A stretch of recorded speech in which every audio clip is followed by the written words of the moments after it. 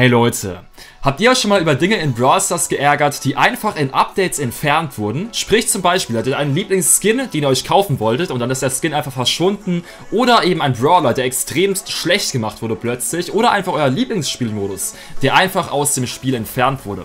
Genau das werden wir uns im heutigen Video anschauen und werden eben alle diese Dinge eben zurückholen und uns eben dazu das Gameplay anschauen. Und ja, ich bin gespannt, was ihr davon haltet und welche Dinge ihr in Brawl Stars vermisst, die es eben früher gegeben hat. Und genau damit beschäftigen uns heute, würde ich sagen, wir starten rein und wie immer, genau, wenn ihr mich supporten wollt, könnt ihr ganz rechts im Shop meinen Quercode eingeben, Jojonas, und ich würde sagen, wir starten rein und euch jetzt wie immer viel Spaß! Das erste, was ich mir in Brawl Stars zurückwünschen würde, sind auf jeden Fall Tickets. Wir sehen hier auf jeden Fall, dass ich auf diesem Account einfach mal über 1000 Tickets drauf hatte.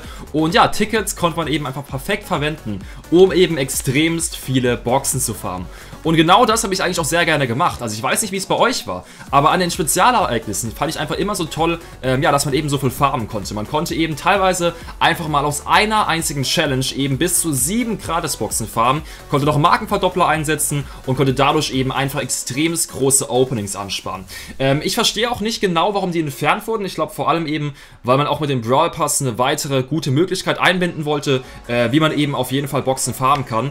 Ähm, aber ich persönlich habe einfach sehr viel Spaß daran gehabt, eben diese Boxen zu farmen, äh, da man so eben einfach sehr viel Spaß in den Spezialereignissen hatte und eben sehr gut vorankommen könnte. Und deswegen würde ich mir persönlich auf jeden Fall wünschen, dass die Tickets zurückkommen und man so eben wieder sehr, sehr viele Boxen Free-to-Play oder auch mit Pay-to-Win eben sparen kann. Als nächstes haben wir einfach mal einen Modus, der aus dem Spiel entfernt wurde. Und zwar haben wir hier den Modus Starkampf.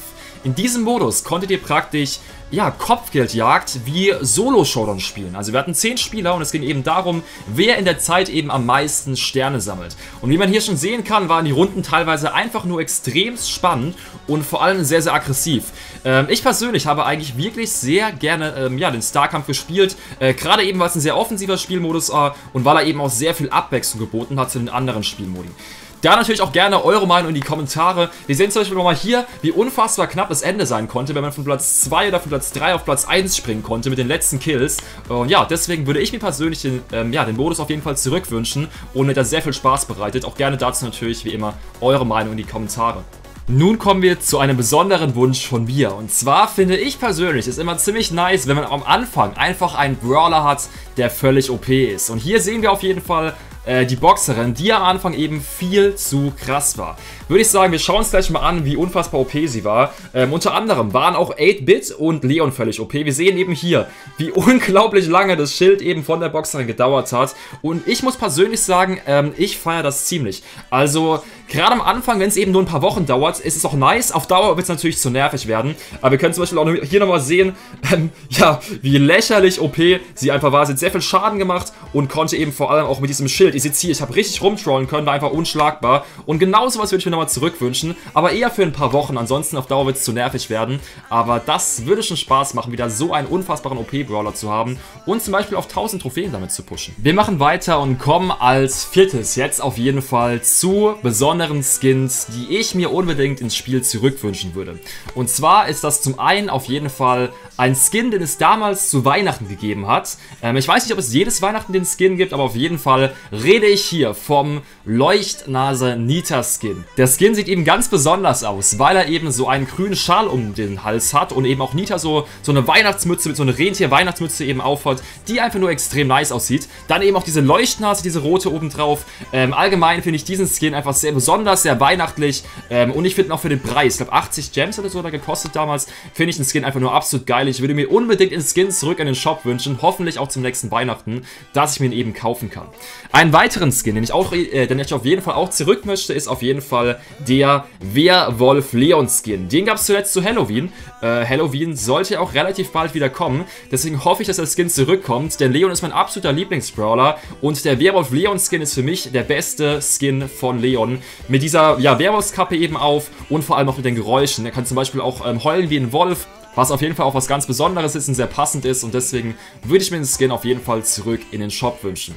Damit kommen wir jetzt auf jeden Fall zu meinem persönlichen Favoriten. Und zwar, wir sehen es in dem Hintergrund zu einem ganz besonderen Spielmodus, denn es war auf jeden Fall mein absoluter Lieblingsspielmodus, und zwar der Modus Lebensraub oder eben auch der Friedhofsmodus.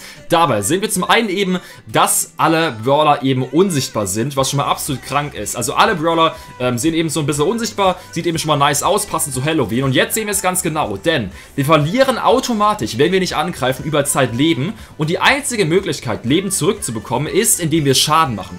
Wenn wir einen Kill machen, haben wir wieder volles Leben. Und wenn wir eben Schaden am Gegner machen, zum Beispiel 1000 Schaden, bekommen wir ungefähr dasselbe an Leben zurück. Sagen wir machen 1000 Schaden, dann bekommen wir eben wieder 800 Leben zurück. Sprich, man darf eben nicht so lange campen, sondern muss sehr offensiv gehen, was ich schon mal absolut geil einfach finde in so einem Modus. Und es ist eben ein sehr riskanter Modus und die Spiele sind auch sehr schnell vorbei. Sprich, man konnte sehr schnell pushen. Es waren witzige und spannende Runden, die sehr offensiv waren. Und deshalb war es mein persönlicher Lieblingsspielmodus, den ich unbedingt zurück möchte. Da auch gerne eure Meinung in die Kommentare. Ich hoffe, wir bekommen den Spielmodus zurück äh, wieder zu Halloween. Und da bin ich auf jeden Fall sehr gespannt, ob wir da eben meinen Lieblingsmodus zurückbekommen. Als nächstes kommen wir jetzt auf jeden Fall zu dem besten Angebot, das es jemals in Brawl Stars gab. Und zwar, ihr wisst es wahrscheinlich schon, wir haben hier das 49 Juwelen-Angebot für 49 Megaboxen.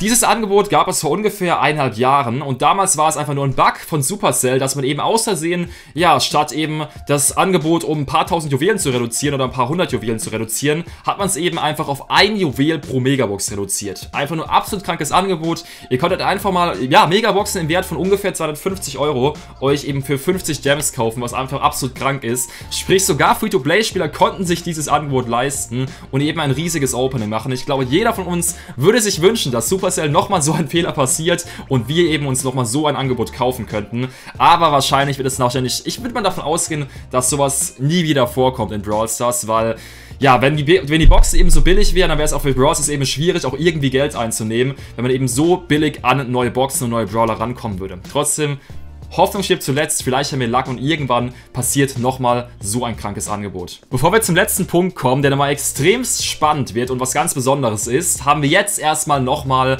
einen Spielmodus, der aus dem Spiel entfernt wurde. Und tatsächlich war zu diesem Zeitpunkt Takedown ein Modus, den ich unfassbar gerne gespielt habe. Er war auf jeden Fall nach Showdown für mich der Lieblingsspielmodus. Deswegen war ich einfach nur unfassbar traurig, dass er eben aus dem Spiel entfernt wurde. Ihr wisst wahrscheinlich, worum es in Takedown geht. Nochmal als Erklärung. Ihr müsst eben versuchen, ähm, in einer Lobby mit 10 Spielern eben einen großen Roboter anzugreifen. Und es geht eben darum, wer eben am meisten Schaden an dem Boss-Roboter machen kann, der gewinnt das Ganze. Wir sehen es hier nochmal. Muss eben versuchen, einfach alles zu ignorieren. Kann auch versuchen, ein paar Cubes einzusammeln und dann eben den großen Roboter anzugreifen und so so eben sich auf Platz 1 zu setzen, indem man eben am meisten Schaden macht. Ähm, ich persönlich mochte den Modus sehr gerne. Gerne auch eure Meinung in die Kommentare. Ich glaube, ähm, offensichtlich mochten viele von euch den Modus nicht so gerne. Ansonsten äh, wäre er nicht entfernt worden. Aber ich finde es so schade, dass er entfernt wurde, weil ich den Modus einfach nur gerne gezockt habe. Und allgemein ist es schon schade, äh, wie viele Modi entfernt wurden, die ich früher sehr, sehr gerne gespielt wurden. Äh, die ich sehr, früher sehr, sehr gerne gespielt habe. Damit kommen wir hier zum letzten Punkt und wir sehen es schon, wir haben hier einfach eine Box oder Boxen, die es nicht mehr in Brawl Stars gibt und die es früher in der Beta-Version von Brawl Stars gegeben hat. Äh, ihr müsst wissen, die Beta-Version von Brawl Stars war ungefähr, ich glaube, ein bis zwei Jahre im Spiel, bevor dann eben die offizielle Version auch für Android rauskam. Und wir sehen eben hier im Shop gab es eben nicht nur Brawl und Big Boxen, sondern vor allem eben die seltene Box, die super seltene Box, die epische Box und die mythische Box. Ähm, ich weiß nicht, was ihr davon haltet, aber ich persönlich würde mir diese Boxen auf jeden Fall zurück ins Spiel wünschen. Denn damit könnt ihr eben bei einem Opening dafür sorgen, dass ihr eben einen bestimmten Brawler mit sehr hoher Wahrscheinlichkeit ziehen könnt. Sagen wir zum Beispiel, ihr wünscht euch noch Mortis und dann könnt ihr euch eben einfach sagen, wir für 150 Juwelen eben die mythische Box kaufen und könnt so eben dafür sorgen, dass ihr eben einfach einen mythischen Brawler zieht. Natürlich gibt es auch ähm, Angebote, in denen ihr direkt die Brawler rausziehen könnt oder eben auch Shop-Angebote, aber ich persönlich feiere es eigentlich ziemlich dass man eben ja verschiedene Boxen für Seltenheiten hat und deswegen würde ich mir das auf jeden Fall ins Spiel zurückwünschen. Und damit auf jeden Fall so viel zu den Dingen, die ich mir in Brawl Stars zurückwünschen würde. Gerne eure Meinung in die Kommentare, was ihr euch noch wünschen würdet. Wir werden vielleicht uns noch bald anschauen, ähm, Dinge, die ich in Brawl Stars hinzufügen würde, die es nie gegeben hat. Und ich würde sagen, wie immer, danke fürs Zuschauen. Wenn ihr neu dabei seid, könnt ihr doch gerne auch ein Abo da lassen. Und ansonsten bis zum nächsten Video. Haut rein und ciao.